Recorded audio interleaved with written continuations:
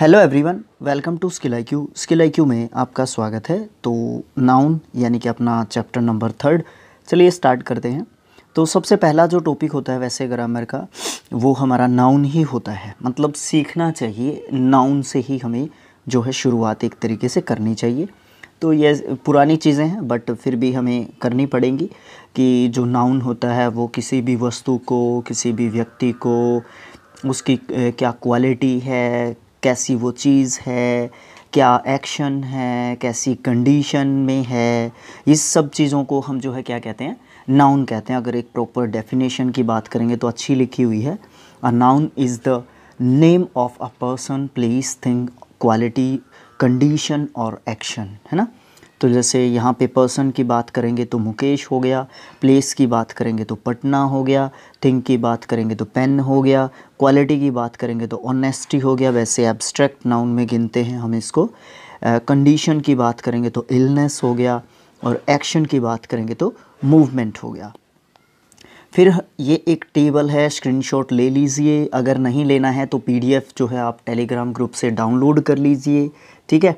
तो यहाँ पे नाउन है नाउन के दो पार्ट्स होते हैं काउंटेबल एंड अनकाउंटेबल और काउंटेबल के हमारे तीन पार्ट्स होते हैं proper noun common noun and collective noun और जो हमारा अनकाउंटेबल होता है, उसके भी दो पार्ट होते हैं, एक तो मटेरियल होता है और एक एब्स्ट्रैक्ट होता है, जिसमें क्वालिटीज़ वगैरह को गिना जाता है। उसके बाद नेक्स्ट जो टाइप है या बातें हैं, हम उनको बारी बारी देखते हैं। सबसे पहले हम काउंटेबल नाउन किसको कहते हैं?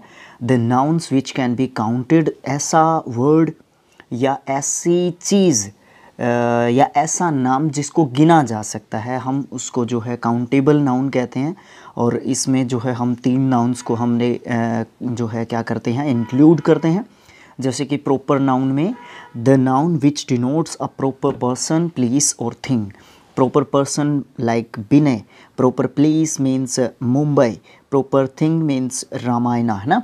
मतलब जो किसी भी प्रॉपर व्यक्ति का नाम लेते हैं, किसी भी प्रॉपर प्लेस का नाम लेते हैं, या फिर किसी भी प्रॉपर चीज़ का नाम लिया जाता है तो वो नाम, वो जो हमारा नाउन होता है, उस टाइप के हम नाउन को क्या कहते हैं? प्रॉपर नाउन होता है और प्रॉपर नाउन को काउंटेबल नाउन में गिनते हैं।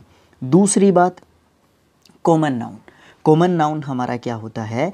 The noun which denotes common persons places और थिंग्स मतलब ऐसा नाउन होता है जो डिनोट करता है किसी भी कॉमन पर्सन को, किसी भी कॉमन प्लेस को, किसी भी कॉमन थिंग को. कॉमन पर्सन लाइक वुमेन कह सकते हैं आप. कॉमन प्लेस लाइक स्कूल कह सकते हैं आप. कॉमन थिंग लाइक टेबल कह सकते हैं आप. तो ये table women man town book table sorry school ये सब जो है हमारे क्या हैं? कॉमन नाउन के जो है एग्जाम्पल्स हैं। और देखिए, इनको काउंट भी किया जा सकता है, इसलिए काउंटेबल नाउन में भी इनको डाला गया है ना? तो ये चीज़ भी हमने भूलनी नहीं है।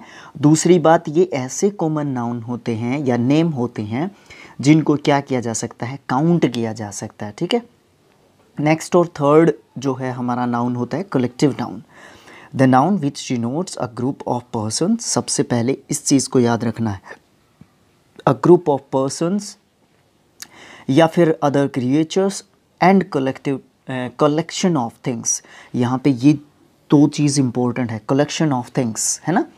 तो यहाँ पे क्या होता है? यहाँ पे ग्रुप ऑफ़ पर्सनस की बात करें तो अ क्रू ऑफ़ सेलर्स यहाँ पे जो क्रू वर्ड है ना, ये हमारा क्या होता है? एक कलेक्टिव नाउन होता है। ठीक है? जैसे कि अ क्लास ऑफ़ स्टूडेंट्स तो यहाँ पे क्या होता है? क्लास जो है, हमारा क्या होता है?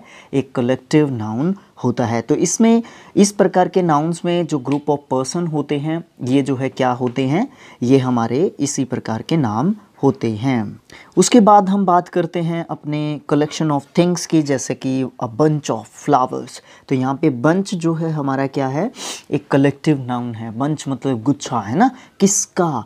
फ्लावर्स का। तो इस तरीके से यहाँ पे समझने वाली एक और चीज़ है, ये पूरा एक फ्रेज़ होता है, ये उसमें मिलता है। और दूसरी बात, जो जिस चीज़ का वो गुच्छा होता है, वो जो है प्लूरल नाउन के रूप में यूज़ किया जाता है। इस चीज़ को भी बड़े अच्छे तरीके से हमें समझना होगा। तो ये हमारी तीन चीज़ें जो थी, ये काउंटेबल नाउन के तहत हमारी गिनी जाती थी। और अब हम बात करते हैं अनकाउंटेबल नाउन की।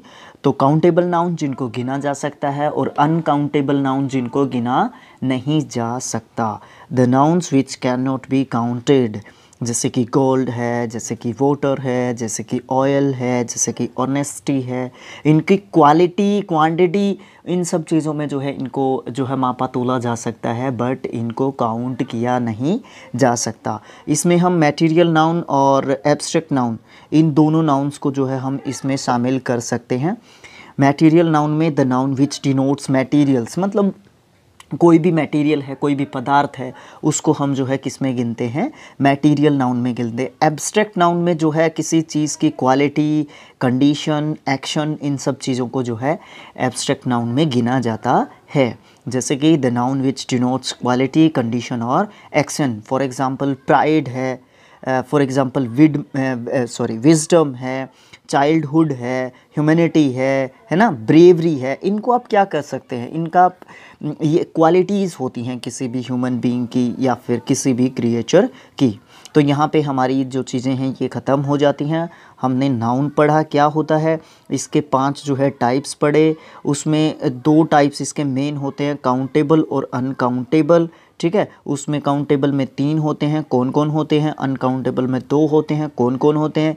किस तरीके के वर्ड्स को इनमें शामिल किया जाता है? यहाँ पे हमें कलेक्टिव नाउन के जो है, क्या दे रखे हैं? एग्जाम्पल्स दे रखे हैं, जैसे कि अ क्राउड ऑफ़ पीपल तो यहाँ पे क्राउड जो वर्ड है, वो कलेक्टिव नाउन का वर्ड है। ठीक है? तो इस तरीके से ये जो चीज़ें हैं, हमें दी गई हैं यहाँ पे। इनको हम जो है स्किप करेंगे। आप पीडीएफ में इनको पढ़ना चाहें तो आप पढ़ सकते हैं। हम जो है दूसरी जो इम्पोर्टेंट चीज़ है ना, उन पे जाते हैं। देखिए, क्या है?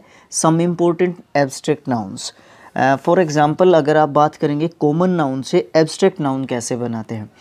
एक दो मैं बता देता हूँ, जैसे फ्रेंड हो गया, ठीक है? यहाँ पे हो गया फ्रेंड तो फ्रेंड के बाद अगर मैं S H I P friendship अगर आप कहेंगे तो ये एक एब्स्ट्रैक्ट नाउन है. अगर फ्रेंड कहेंगे तो ये हमारा एक कॉमन नाउन है. तो कॉमन नाउन से जो हम एब्स्ट्रैक्ट नाउन है, वो बना सकते हैं, यानी कि बनते हैं और विपरीत भी बन सकते हैं. मतलब एब्स्ट्रैक्ट नाउन से कॉमन नाउन भी बन सकते हैं तो फिर हमें जो है काटना पड़ेगा. क्या? देखिए, दो चीज़ें होती हैं. एक तो होता है परीफिक्स और एक होता है सफिक्स ठीक है? परीफिक्स होता है वर्ड के पहले। ठीक है? और सफिक्स होता है वर्ड के बाद में। ठीक है? तो परीफिक्स या सफिक्स लगाकर जो है इन चीज़ों को बनाया जा सकता है। फिर एडजेक्टिव से किस तरीके से एब्स्ट्रैक्ट नाउन बनाया जा सकता है? फॉर एग्जांपल स्लेव है। स्लेव जो है एक एडजेक्टिव है। ठीक है? तो स्लेवरी जो है, ये एक जो है एब्स्ट्रैक्ट नाउन है मतलब एक तरीका है उस चीज़ का। जैसे रिच है रिच एक एडजेक्टिव है बट रिचनेस जो है एक तरीका है उस चीज़ का, ठीक है? तो इससे हम कैसे बना सकते हैं?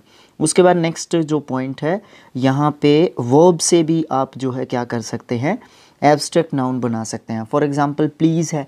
प्लीज़ प्लीज्ड प्लीज्ड सबसे पहले तो आप वर्ब जहाँ पे भी आता है, उसका सेकंड एंड थर्ड फॉर्म आपको पता होना चाहिए। अगर अनजाना वर्ब है तो आप उसका पता करें। गूगल से बुक से, कहीं से भी आप पता करें। पता ज़रूर करना चाहिए। तो देखिए प्लीज़ है प्लेज़र प्लीज़ से हमारा क्या बनता है? प्लेजर और प्लेजर क्या होता है? वैसे तो हम इसको एडजेक्टिव के रूप में भी यूज़ करते हैं बट यहाँ पे एब्स्ट्रैक्ट नाउन की बात चल रही है तो हम प्लेजर को क्या कहेंगे? कि प्लेजर हमारा क्या है? एक एब्स्ट्रैक्ट नाउन है। तो ये था हमारा नाउन का चैप्टर और ये चैप्टर हमारा ख़त्म हो चुका है। एक दो एक्सरसाइजेस के वीडियो भी हम जो है यहाँ से ज़रूर डालना चाहेंगे। जिनको बोर्ड पे ना कर सकेंगे, उनको यहाँ पे करना जो है सही रहेगा। जैसे बोर्ड पे हम अपने जो है कॉमन एरर को जो है हम बोर्ड पे ज़रूर आपको करवाना चाहेंगे। तो यहाँ पे कुछ एक्सरसाइजेस को हम जो है ऐसे ही स्क्रीन रिकॉर्ड में जो है बनाएँगे या करेंगे पहले की तरह। तो thanks for watching thank you so much ये जो वीडियो है रूल्स ओनली है तो हम आगे जो है एक्सरसाइज लेके आएँगे। तो thanks for watching thank you so much मिलेंगे नेक्स्ट पार्ट में।